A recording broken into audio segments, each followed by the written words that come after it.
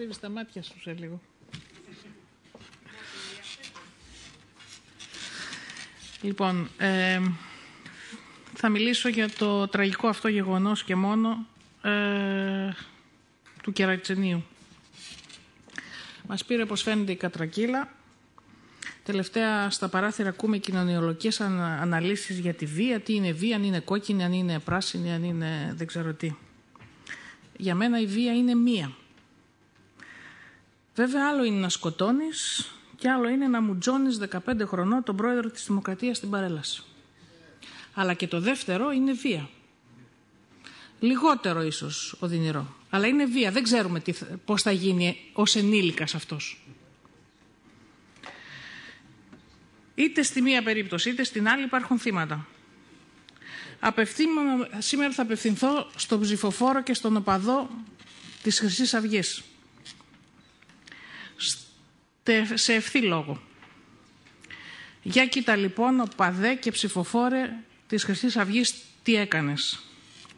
Σου είπαν ότι το έργο σου είναι θεάρεστο και η αποστολή σου είναι χριστιανική. Τους πίστεψες. Βέβαια, ποιος Θεός μιλάει; Για φόνο. Σου είπαν επίσης ότι το έργο σου είναι η σωτηρία της πατρίδας. Δηλαδή η αποστολή σου είναι ιδεολογική.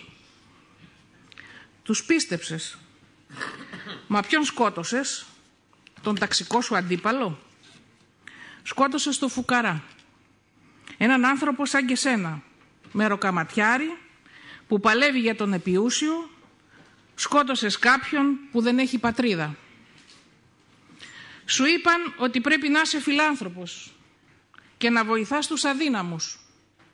Μα εσύ σκοτώνεις καθημερινά τους αδύναμους και τους κατατρεγμένους.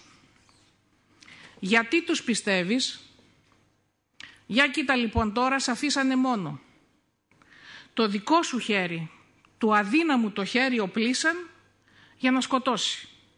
Δεν σκότωσε ο αρχηγός σου που έχει χρήματα και βουλευτική ασυλία. Σκότωσες εσύ που παλεύεις σκληρά για τα παιδιά σου. Για κοίτα τι παρακαταθήκη σε έβαλαν να αφήσεις τα παιδιά σου. Δεν παλεύει τόσο σκληρά αυτός. Ε; που σκότωσε δεν παλεύει τόσο σκληρά.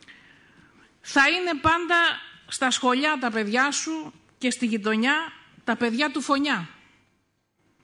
Δεν σκότωσες μόνο τον άνθρωπο, έναν άνθρωπο, σκότωσες τα παιδιά σου, τη γυναίκα σου, τους γονείς σου και τους φίλους σου.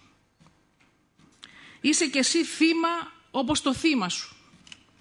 Σε πείσανε, γιατί φταίμε κι εμείς, γιατί δεν σε πείσαμε να έρθεις μαζί μας. Γιατί σε μας ανήκεις. Σε εγκλωβίσανε εκεί που είσαι. Έλα όσο είναι νωρίς μαζί μας να κατεβούμε μαζί στους δρόμους, να διαδηλώσουμε μαζί ενάντια στην κρίση. Μπορείς να αλλάξεις οπαδέ και ψηφοφόροι της χρυσής αυγής. Και τότε θα κάνεις τα παιδιά σου περήφανα για σένα. Για το Θεό που πιστεύεις, αν πιστεύεις, η μετάνια είναι θεάρεστη. Για κοίτα σ' αφήσανε μόνο. Δεν έχεις λένε καμία σχέση με τη Χρυσή Αυγή. Έτσι είπαν οι αρχηγοί σου. Είναι παλικάρια αυτά; Φοράνε παντελόνια; Αυτή τη στιγμή είσαι μόνος σου. Έπρεπε να είναι δίπλα σου. Τρέξε λοιπόν τώρα μόνος να πληρώσεις τους δικηγόρους σου, να θρέψεις την οικογένειά σου, να κοιτάξεις τα παιδιά σου, που θα τα βλέπεις αν τα βλέπεις κάθε Κυριακή για το υπόλοιπο της ζωής σου. Για κοίτα όσο είναι νωρίς την κοινωνία στα μάτια και άλλαξε. Ψηφοφόρε και οπαδέ της χρυσής αυγής είναι νωρίς, έλα μαζί μας. Εμείς πήραμε το μάθημά μας, ίσως σε σμπρώξαμε στην αγκαλιά τους, νομίζω ότι μπορείς να αλλάξεις. Ευχαριστώ.